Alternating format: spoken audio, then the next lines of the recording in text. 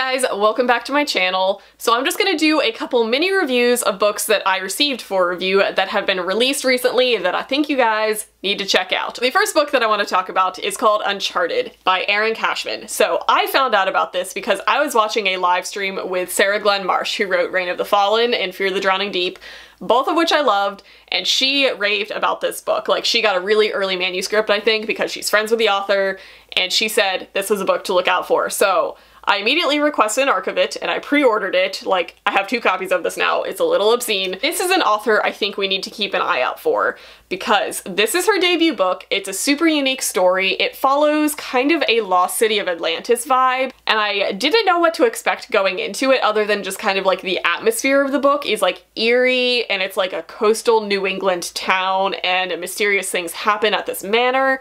And that's kind of all I knew. So going into it, as the mystery was like unraveling, it was so intriguing and so unique for YA.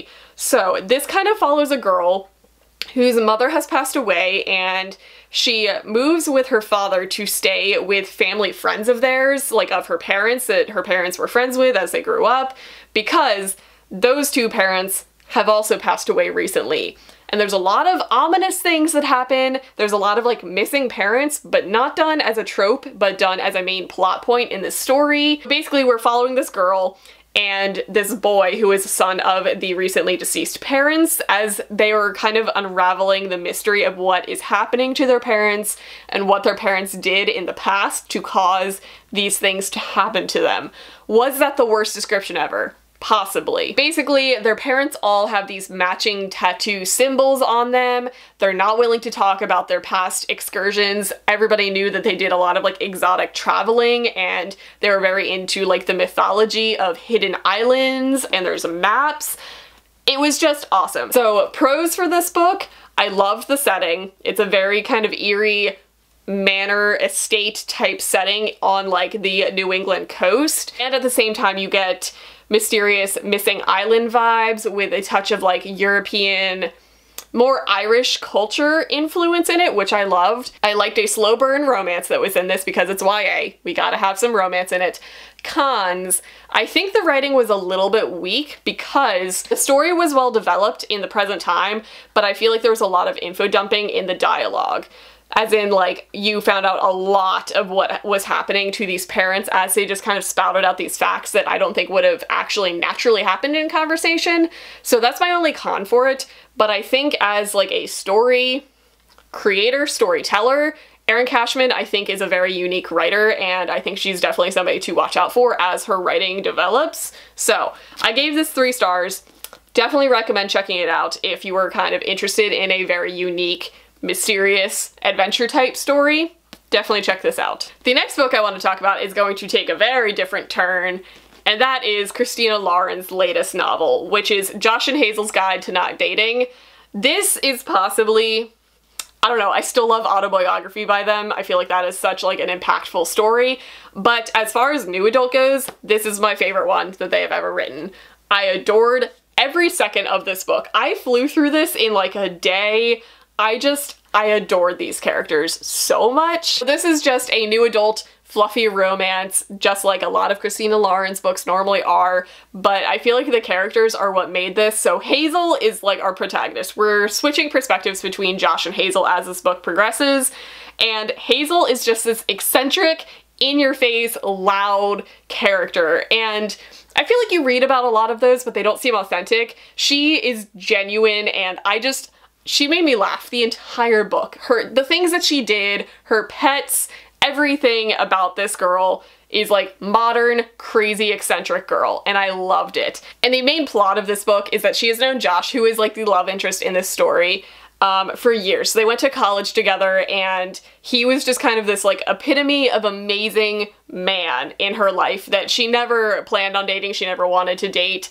Um, and she ends up like through a weird series of events ends up moving in with him and they help each other setting each other up on blind dates but they're slowly falling for each other and their I, their romance is just so good. It's not a stereotypical new adult just like bad boy type of romance or like dark past type of romance. These are very real and very modern characters and I laughed through this entire thing Every single character in this book I adored. I loved it. I gave it four stars. Highly recommend checking this out. The next book that I want to talk about is A Room Away from the Wolves by Nova Ren Suma. Nova Ren Suma is an auto-buy author for me. Her writing is just so unique, and it's been so long since we've gotten a new work from her. The last one that she released was The Walls Around Us, and that book blew my freaking mind. Like, it was...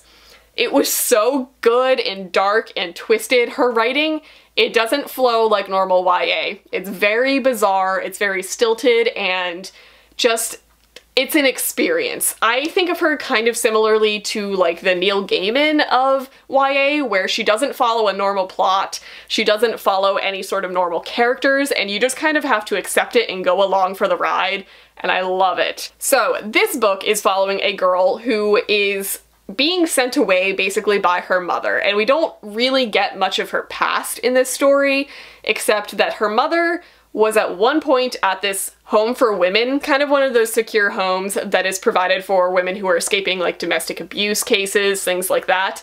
We know that her mother was there until she was 18, and then she had Bina, who is our main character, and her mother sent her away from her new family. She married this guy who has another daughter, or other daughters, I think there's two, and she basically just kind of sends her away.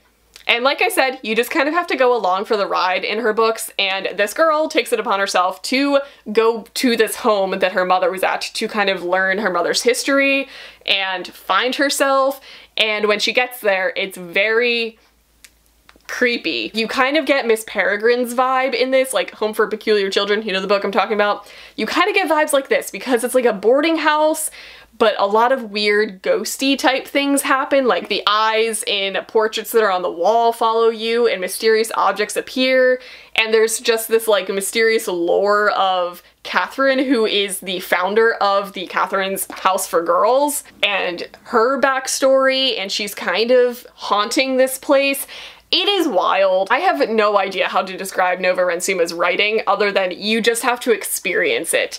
This was not my favorite one by her, but it still had some unbelievably lyrical writing in it. Like, some of her sentences that she puts together I don't know how she forms them, but she must be like a fairy or something because her writing is just beautiful and I will read everything that she writes. And the last book that I want to talk about is Analee in Real Life, and this is by Janelle Milanes. So this book is going to fall kind of in the vein of Fangirl and Eliza and her monsters and things of that nature, which I eat up. I love stories about like nerdy girls expressing their passion and kind of like coming into their own socially while they are still embracing their geeky side. I just, I love stories like that. They just, they represent me because I'm a very nerdy person. I just adore it. This is following Analee, whose mother passed away a couple years ago and, and her father has started dating this newer, younger woman who while that sounds like a very tropey situation, I actually really respected what the author did with this new like stepmother figure.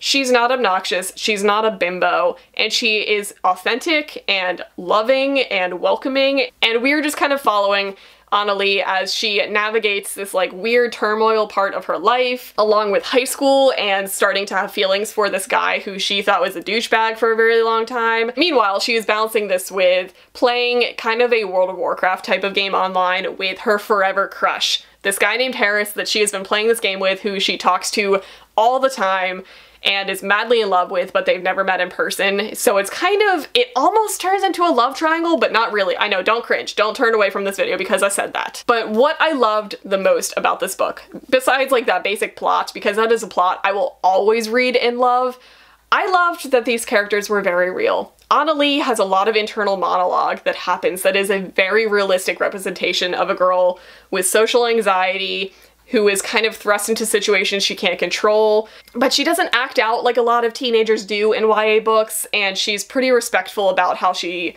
acknowledges things that are happening around her, even if she disagrees with them.